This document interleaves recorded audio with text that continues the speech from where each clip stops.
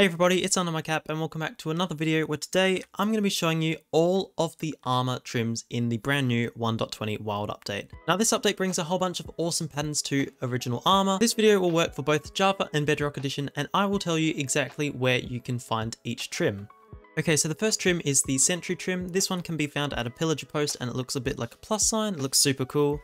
The next one is Vex. This one can be found in Woodland Mansions and it looks like a little Y. The next one is the Wild. So this can be found in jungle temples. And as you can see, the pattern looks quite cool. Uh, the next one's one of my favorites. So this is the Coast Shipwreck. And it looks awesome. You can see it's kind of got barnacles on it because it's underwater. Next one, we'll go to the Dune. So if you find a desert temple, there is a likely chance that you may find one of these inside one of the chests, or if you dust out a little bit of the suspicious sand.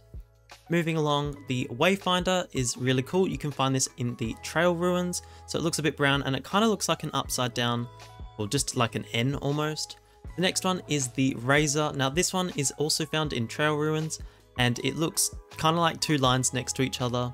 The next one is the Shaper. The Shaper is also found in the Trail Ruins um, and it just looks like an F kind of, I guess.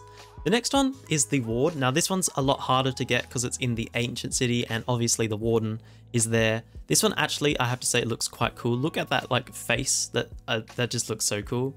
Uh, when we move on as well, we've also got the Silence. Now this one just looks even scarier and it also looks like one of the coolest ones, mainly because it's probably the hardest one to get.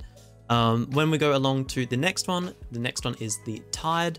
And this one can be found in ocean monuments and I kind of like it. It looks like it's like frosted over ice kind of, so super cool. Now moving on to the next section. Uh, these are the last set. We have the Shaper. The Shaper's kind of like a blank one. I wouldn't recommend getting it for a chest plate just because it kind of doesn't add anything to it. The next one is the Spire, which can be found in End cities, and it looks a little bit purple, and that's because of the purple block. The next one is the Eye. So the Eye can be found in the Stronghold, so basically like the Eye of Ender kind of, and that one actually looks super cool. It kind of looks like an emerald. It probably look cool with like the uh, emerald color on it, but uh, I just chose gold for all of these. The next one is the Rib. Now, probably wouldn't recommend doing this on netherite armor just because it's quite dark, but it does look pretty cool. And the last one is the Snout, which can be found in the Bastion. Basically, because piglins are there, they have it as a snout theme. Although I can't see the eyes. It looks, oh, snout, sorry. I, I don't see like a snout on it. Now that is about it. If you did enjoy the video and you found it helpful, don't forget to leave a like and subscribe. And I can't wait to see you in the next video. See ya!